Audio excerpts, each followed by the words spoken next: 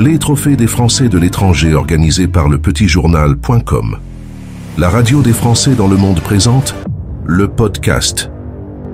Avec l'Arc de Triomphe sur ma gauche et la Tour Eiffel sur ma droite, nous sommes installés aujourd'hui à Paris pour recevoir les lauréats de la 12e édition des Trophées des Français de l'étranger. Et ma première invitée est Cécile Moroni. Cécile, bonjour. Bonjour.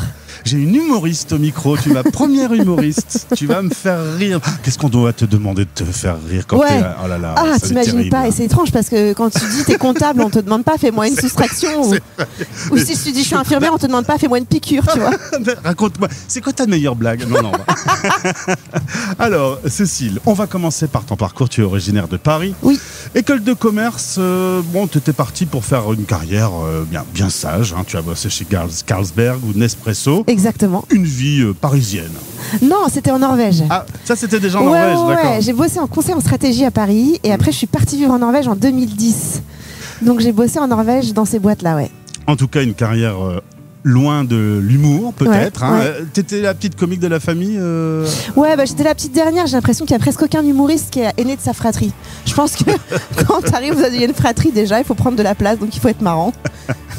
j'étais déjà la petite comique, ouais. Tu avais eu l'occasion de vivre une première expatriation en étant six mois en Suisse. Tu m'as dit, j'ai adoré.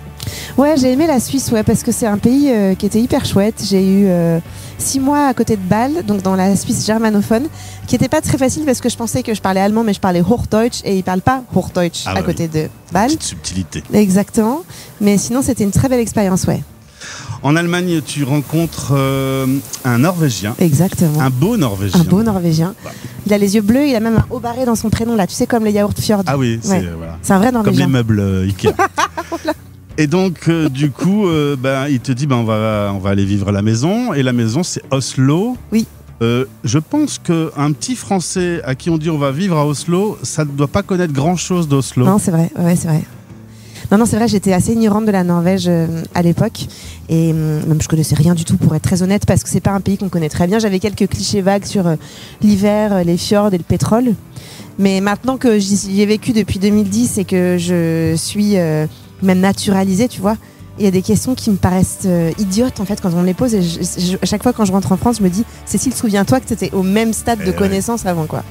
Et, et donc, du coup, on fait comment quand euh, on rencontre l'amour, qu'on va aller s'installer à Oslo On commence l'aventure avec un, un livre ou Google, on cherche des infos pour voir un peu c'est quoi les différences culturelles. On se renseigne avant de poser les pieds à Oslo. Ouais, c'est vrai, c'est une bonne question ça aussi. On s'était rencontrés, puis en fait, je suis repartie à Paris pour terminer mes études. Donc là, j'ai eu le temps d'apprendre un peu le norvégien à la Sorbonne. J'avais un peu posé les jalons pour commencer à apprendre un peu la langue et le pays. Mais en fait, rien ne te prépare vraiment à une, immersion euh, comme ça, quoi. Donc euh, j'ai vraiment passé du temps au départ à me m'étonner de choses des plus superficielles aux plus profondes. euh. Et, et maintenant, ça fait 13 ans que je suis en Norvège. Il y a, y quand même des, des aspects de la société qui continuent de me surprendre. Ouais. On n'a jamais vraiment fini, en fait, d'apprendre à connaître une culture. On reste toujours français? Ouais, c'est aussi une belle question. Attends, c'est des bonnes questions là ce matin. Et c'est une vraie belle question. J'ai écrit un One Woman Show qui parle de ça, qui parle du voyage entre être très français en Norvège et puis presque se sentir un peu norvégien en France parfois quand moi je rentre en France. Ouais. Mais c'est difficile. Je pense qu'il y a un équilibre qui se fait. Moi, je suis hyper attachée à la France, donc je souhaite pas ne plus être française. Mais en même temps, il y a un effort d'intégration qui fait qu'on pousse aussi euh, certaines habitudes à disparaître. C'était quoi le plus gros choc ou les plus gros chocs quand tu as commencé ta vie en Norvège? Ouais. Alors évidemment, il y a le côté euh, climat, euh, rythme de vie, euh, luminosité, etc., qui fait qu'on vit très différemment qu'en Mhm. France à cause des, des conditions météorologiques. Euh, il fait vraiment nuit l'hiver à 14h, il fait nuit à Noël, il fait, enfin, les nuits sont longues. Ça, c'est un, vrai, un truc, ça c'est un vrai choc parce que c'est surprenant et ça prend beaucoup d'énergie de s'y faire. Mais après, il y a aussi les super bons côtés. Il n'y a pas du tout d'insécurité ou de criminalité en Norvège. C'est un pays hyper safe. Les gens sont profondément gentils. Ils ont un humour sarcastique à hurler de rire. Euh, donc on est vraiment différents sur plein d'aspects, ouais. Tu es l'interview 2139 de la radio des Français dans le monde. À chaque fois, on parle de nourriture, alors on va y aller. Comment ne pas parler de Est-ce que le fromage t'a manqué? Oui, évidemment. Il y a des fromagers français à Oslo. Euh, ouais, évidemment que la, la nourriture en Norvège, il y a des super bons produits de la mer, mais c'est pas le pays de la gastronomie. Enfin, franchement, je vais pas mentir, et j'adore les Norvégiens. Ils savent bien faire à manger, mais c'est souvent des inspirations qui viennent de l'étranger. Ils n'ont pas énormément de traditions de plats typiques norvégiens. Ils en ont quelques-uns, mais ça reste relativement restreint.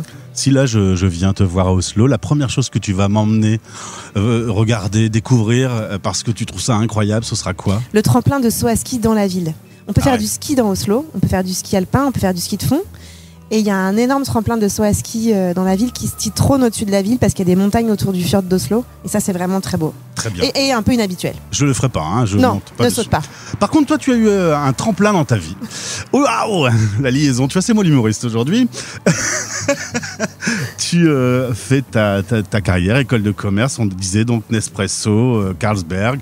Voilà. Et puis, un jour, tu changes tout.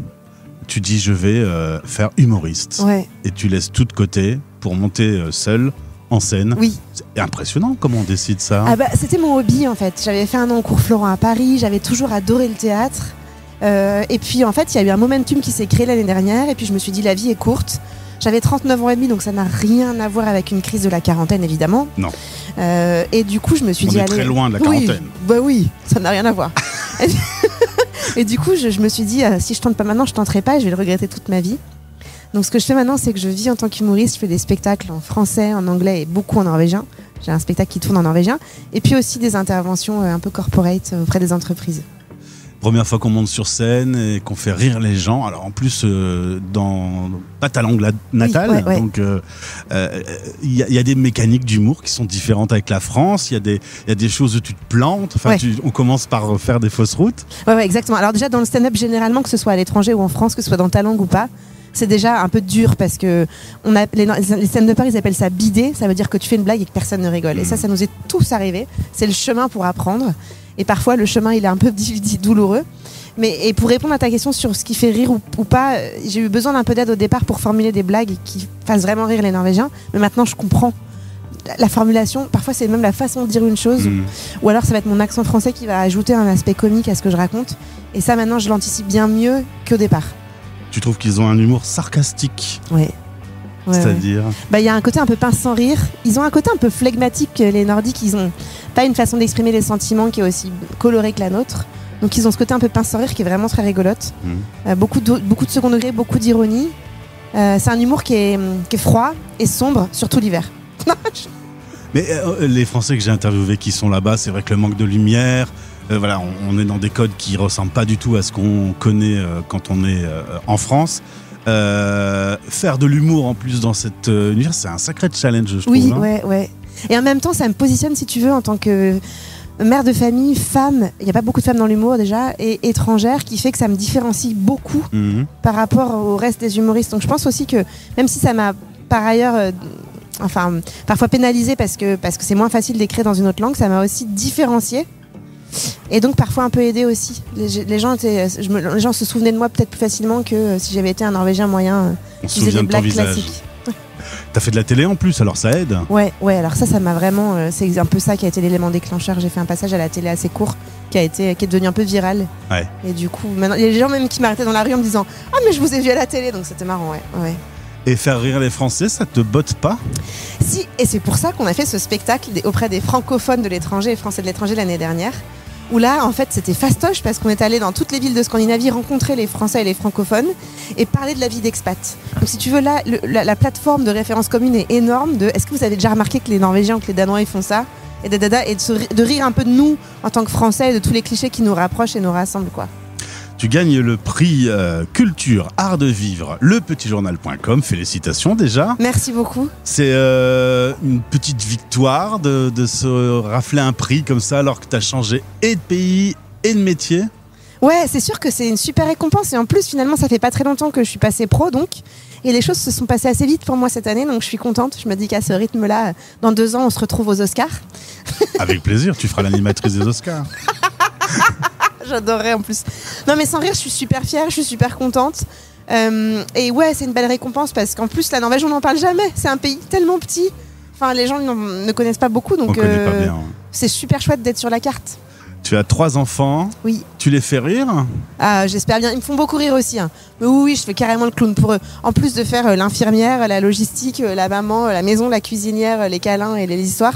Ouais, ouais, je fais pas mal le clown, ouais. Et quand tu dois gronder un enfant qui fait une bêtise, ça va, il, il, il claque pas une barre Non, alors, ouais, bah, c'est toujours un peu la, la zone difficile en tant que parent d'asseoir son autorité malgré le fait d'avoir envie de rigoler. Mais parfois, ça c'est vrai, parfois, j'ai un petit garçon qui a bientôt 3 ans, il est extrêmement drôle quand il fait des bêtises. Je suis obligée de tourner la tête pour pas qu'il me voit rire. En 2010, tu suis ton mari euh, à Oslo. Est-ce que ton mari pourrait te suivre à Paris? Ouais, mon mari, il est super francophile. Alors, il a appris le français, il s'est fait naturaliser français, figure-toi, alors qu'il n'a jamais vécu en France. Il a donc la nationalité française et il adore toutes les traditions françaises de fête. L'apéro, le saucisson, les paquitos, faire tourner les serviettes, faire la chenille. Je te jure, il a faim. Je pense qu'il serait mais, comme un poisson dans l'eau en France. C'est un projet? Ouais, on aimerait bien, ouais. Surtout pour les enfants qui voient la France à un moment ou à un autre, ouais. Pourquoi? Parce que la France te manque un peu? Oui, et puis je trouve que quand on est français quelque chose, c'est chouette d'avoir un peu euh, vu la France de l'intérieur, euh, au moins une partie de sa vie. Et ma dernière question, euh, c'est la radio des expats. On, on t'écoute sur toute la planète. Euh, la période n'est pas très fastoche, fastoche en Non, ce moment. Non. Euh, arriver avec un peu d'humour, euh, ça fait. tu sens que tu fais du bien aux gens. Ouais. Tu sens que tu fais du bien. Mais le rire, c'est une thérapie. hein. Et moi, bah, je, me remarque aussi, parfois, même quand j'ai des longues journées au boulot ou des journées un peu dures à la maison, je vais à mon spectacle, je regarde ce que font d'autres humoristes, je me poile en rentrant dans la voiture en repensant à leurs blagues. C'est une thérapie, c'est sûr. Et ça crée du lien entre les gens aussi. Ça crée du lien entre les cultures, ça désamorce plein de choses, le rire. Cécile Moroni, félicitations encore pour ce prix. Merci d'être venue au micro de la radio des Français dans Merci le monde. beaucoup. Une belle journée euh, parisienne. T'es revenu exprès pour l'événement? Ouais, et puis alors en plus, il fait beau, donc euh, c'est ce qu'on appelle l'été en Norvège, il fait 15 degrés ici.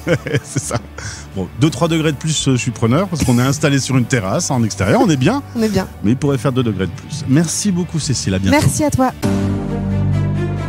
Retrouvez ce podcast sur lepetitjournal.com ou en écoutant la radio des Français dans le monde.